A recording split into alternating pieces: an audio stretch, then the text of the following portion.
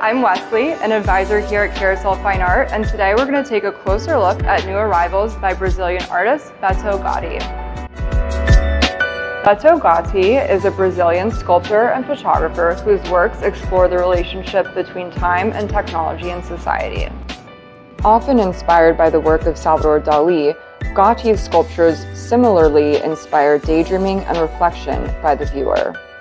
Thanks for joining us today. Stay tuned to learn more about our upcoming events and new pieces we receive at Carousel Fine Art.